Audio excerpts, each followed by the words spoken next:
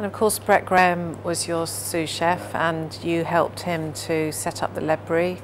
Um, yeah, I mean, Brett, Brett, um, Brett came to Square as a, as a, as a young lad, and um, you know, he it was very obvious very early on that he was an incredibly good cook. You know, he's got, you know, he, he, he was he was he was bloody hard work actually, Brett, because he's so passionate, and he's so you know, you get to a point in your career when you're 15 years down the line where actually the most important thing in the afternoon is to get the hell out of the restaurant.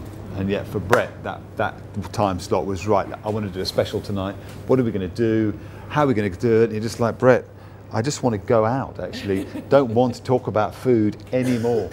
He's a great cook. You know, it was clear then that he was a great cook. And, and um, I suppose I had no, no, never had any intentions of, of opening another restaurant. Um, and then you get something like Brett along and, and you realise that actually um, we got on incredibly well. I think our palates, uh, as, as you know, the detail of, of, of cooking, we related incredibly well. Um, and to be perfectly selfish about it, you think, well, here's somebody that I could imagine working with. So I'm going to I'm going to give him an opportunity, and he's going to be my pension. and um, and and that's kind of that's that's that's that was the deal of the Ledbury. So it was never a case of going to be Philip Howard in Notting Hill Gate. Yeah. It was always going to be independent restaurant. Yeah. Yes, we gave him bucket loads of support in the early days, but it was always his restaurant, um, his menu. You know, it was, it so do you have do you have to do anything to support him now, or do you uh, just uh, bank, no, bank the checks? No, no. I mean, really, now, not for a long time. I have, no, I have, I have absolutely nothing to do with. Um, I mean, we speak a lot. He's my, you know, he's a great mate. but you we, still have your shareholding. Oh yeah, still absolutely, absolutely a partner. Um, no, but Brett, um, he's he's he is he has complete control. I mean, Nigel's a bit more involved with the restaurant because he has the time and the desire actually, um, and he brings something to it. You know, he has he, Nigel's he is he has he has something to bring to, to the Ledbury that that that, that I don't in, in some ways. Um, Brett uh, Brett actually his cooking has quietly progressed over the years and is now the, the, the heart and soul of it's still similar to, to, the, to, to, what, to my style of cooking, but he has become a, his own his own man in terms of cooking. So I don't. Um, we, we, talk, we talk as mates, not as not as and, and not really, not often as business partners. And then, of course, um, you got involved with uh, restaurateur Rebecca Mascarenhas and opened. Yeah, Re Rebecca is somebody W8. who um, I knew because uh, from from where I live, she has a she has a restaurant that I'm now involved with too, um, just around the corner from home, um, and we'd always sort of got on. She had a restaurant um, site in Kensington that she was sort of thinking about what to do with, having closed one one business there. so she approached me. What I've come to to realise is that all I really get my fulfillment out of, the thing that I enjoy doing most is cooking, and it's always been really important that I, I, I do not get involved with things that are going to pull me away from that. Otherwise, you just end up busy and miserable. And as much as she, she wanted a partner, I've always thought very carefully about the opportunities that have sort of have come my way to think, okay, how's this going to fit into my life? Was there, you know, how's it going to work? What's, what's the impact on my day-to-day life going to be? How am I going to be? How, what have I got to bring to this thing? how am I going to make that happen without it becoming a nightmare? And, and the truth was that I had home is here, Ledbury is here, Square is here, Kitchen W8 was, was right on that path, it means I could just stop in if I had to. And Kitchen W8 is a restaurant that I've been much more involved with than the Ledbury, um, because that was what I always intended to do. I mean, now I have to say, how many years down the line, it runs day-to-day -day basis without any, any contribution, but I still meet every week and we still, I play a part. Rebecca's a phenomenal businesswoman. Um, I've always uh, if I can get to the end of my career having just been left alone to do the things that I enjoy, then, then I think that's quite successful. I don't enjoy the, the, the, the, business side of it. It's not what, I don't have any natural, I know, I understand it, but it's not my thing. and I think for, a, for chefs to have, I think it's so important that they have two things in their life. One is a business partner, somebody who can make sure that their cooking skills actually make some money at the end of the day and keep a, keep a restaurant afloat. And two, somebody who might be the same person, um, but not necessarily somebody who can tell them, give them some honest opinion on, on what they're doing because us chefs, we don't like criticism and we tend to think what we you just need chefs need somebody in their life who can say do you know what? That dish is crap. Or, or or you know because we get we get caught up some more than others but we all get caught up on the process of cooking. We get off on how we get from a to b. We take this whole thing with slow cooking that you've got to cook your piece of veal at 62.3 degrees i mean it's a fucking that's a joke it's all a joke you know, that, that, that whole world is a joke. That the temperatures to that level is, it's a joke. But chefs get off on it. They get off on, what does the tree look like when I slice it? Well, you know, what is, you know, we, we, we get off on the process of cooking. And if that's what makes us passionate and that's important. Customer doesn't give a shit how you got from A to B because he only gets B. and they just give a shit what B tastes like. Yeah. And if it looks nice, well, hey, that's fantastic too. Yeah. And, um, and the problem is, we put things on the menu that we think are clever and, and were cool to make and were cooked at a cool temperature and look cool when you slice them.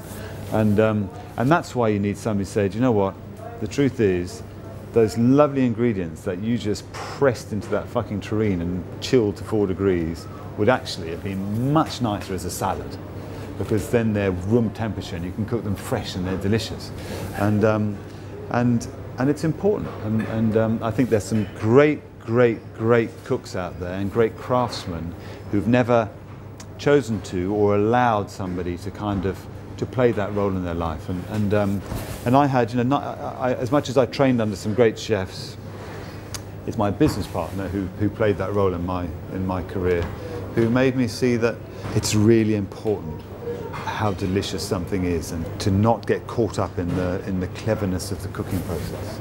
Having been asked dozens of times to do a book, you decide to do an epic yeah. book which you hand wrote. yeah, yeah. Um, I mean, I agreed to do the book years and years ago, and eventually, originally, it was supposed to come out on our 10th anniversary, and um, I think it came out on I don't know the 21st or something. So it took it was a long time coming, um, and um, I don't know. What do I think about the book? Somehow, the pain of writing it still uh, dominates the sort of the fulfillment of, of doing it in a way. You and I looked at White Heat. I just thought, what a great book what a great book. And I look at this, look at the book that I wrote, and I just, it's just so. It is a great book, you know, the, the, the, the Square Cookbooks, the two, the two books, because they are. I decided if I was going to write a book, I think most of them, uh, of the high-end Michelin books, you, you, if you want to try and cook complex food, you have to have a picture. You have to know where you're going, I think. And um, so that was the, and that writes out, writes off most publishers. They're not interested. The cost of having a photograph for every dish is just too much. So um, that was that was a problem along the way, and until Absolute Press came along, they they agreed to to, to do that. Um, and nine times out of ten, even if you have got a picture in the book, the the the text, the ingredients, and the methodology, there's never enough information in there for anybody at home to even begin to try and achieve the, the picture. And I thought, well, what's the, what's, the, what's the point in that? If you read a sentence that says, uh, take two 1.6 kilo chickens, debone them and use them to line a terrine, full stop. Well, you know, that's really easy for a chef to write, but it's for somebody at home to, to, to, to it does, it, that's just hopeless.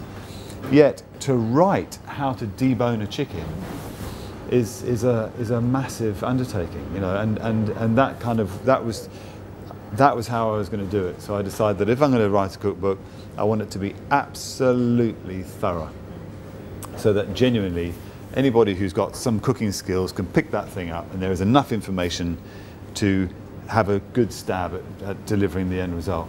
Um, and so it just became incredibly kind of long-winded. But the truth is, in the end, it, you know, it, it was written, and um, the whole thing got handwritten. I've still got the original manuscript, which sort of A4 about this high, the, the, savoury, and um, and my the vast majority of it was typed up on a BlackBerry at reception at the Square, and then emailed across to the editor, who then.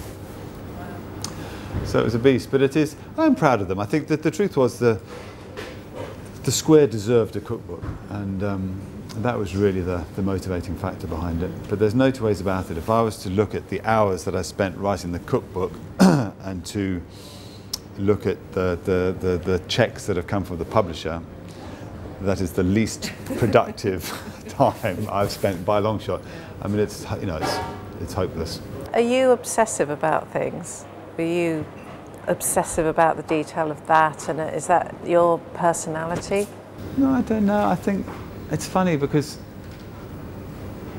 I don't, I don't think I, I don't think I am in a way, um, because I'm not.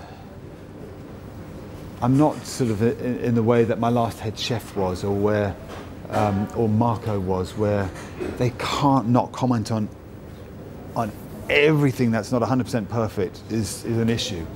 So in that sense, I'm not sort of I think in order to enjoy life and to enjoy, enjoy my job, I'm really pretty much happy if everything is 2% imperfect because yes, some, lots of things that come up in the kitchen are just spot on. But I, I'm not phased if they are just off perfect because the headache that that last 2% causes is just, it's just no fun at all.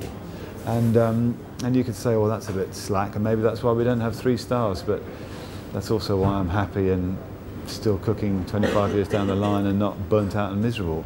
Well, on that note, thank you very much for being so open with us today and, and giving pleasure. your time. And um, yeah, thank you very much, Phil. Thank you very much.